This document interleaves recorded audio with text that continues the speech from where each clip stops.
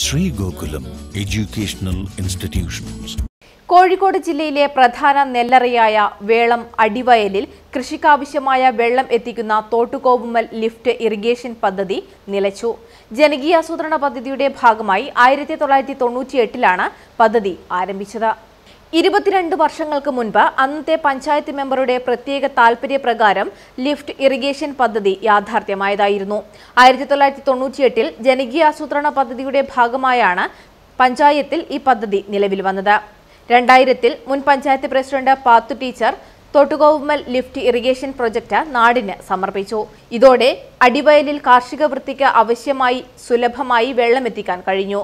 അക്കാലത്ത് മകരകൃഷിയും പുഞ്ചകൃഷിയും ഇറക്കിയിരുന്നതായി അടിവയൽ പാടശേഖര സമിതി പ്രതിനിധി പറയുന്നു. പണ്ട് കാലങ്ങളിൽ ഈ പ്രദേശത്ത് മകരം കൃഷിയും അതുപോലെ തന്നെ പുഞ്ചകൃഷിയും ഒക്കെ നടത്തിയിരുന്നു.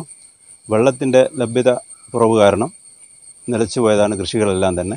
ഈ പദ്ധതി യാഥാർത്ഥ്യമായി കഴിഞ്ഞാൽ ഈ അടിവൽ പ്രദേശത്തെ പകുതി ഭാഗങ്ങളിലെ പാടങ്ങളിലേക്ക് വെള്ളമെത്തിക്കാൻ ഈ പദ്ധതിയിലൂടെ സാധിക്കുമെന്നാണ് എന്റെ വിശ്വാസം. സമീപത്തെ പുഴയിൽ നിന്ന് മോട്ടോർ ഉപയോഗിച്ച് വെള്ളം പമ്പ് ചെയ്താണ് വയലിലേക്ക് വെള്ളം എത്തിച്ചിരുന്നത്.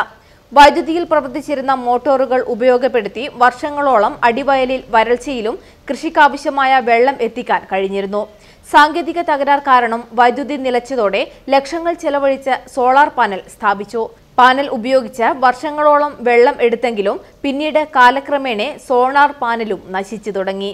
കുറ്റ്യാടിപ്പുഴയുടെ ഭാഗമായ തോട്ടുകൊവുമൽ പ്രദേശത്ത് കാടുമൂടിയ നിലയിൽ അനാഥമായി കിടക്കുന്ന ഈ പദ്ധതിക്ക് പുനർജീവൻ നൽകിയാൽ പ്രദേശത്തെ കർഷകരും കൃഷിയെ ആശ്രയിച്ച് ജീവിക്കുന്നവർക്കും ആശ്വാസകരം ആകുമെന്നും പാടശേഖര സമിതി പ്രതിനിധി വ്യക്തമാക്കി. കോഴിക്കോട് ജില്ലയിലെ ഏറ്റവും വലിയ നെല്ലറിയായ വേളം പഞ്ചായത്തിലെ അടിവേൽ പാടശേഖരത്തിലേക്ക് കൃഷിക്കാവശ്യമായ വെള്ളം എത്തിക്കുക എന്ന ഉദ്ദേശത്തോടു കൂടി ആയിരത്തി തൊള്ളായിരത്തി തൊണ്ണൂറ്റെട്ട് തൊണ്ണൂറ്റൊമ്പത് വർഷം ജനകീയാസൂത്രണ പദ്ധതിയിൽ ഉൾപ്പെടുത്തി അന്നത്തെ ഗ്രാമപഞ്ചായത്ത് മെമ്പറും പൊതു പ്രവർത്തകനും ആയിരുന്ന മടത്തിൽ മൊയ്തൂക്ക പ്രത്യേക താല്പര്യമെടുത്ത് കൊണ്ടുവന്ന ഒരു പദ്ധതിയാണ് തോട്ടുകോമൽ ഇറിഗേഷൻ പദ്ധതി.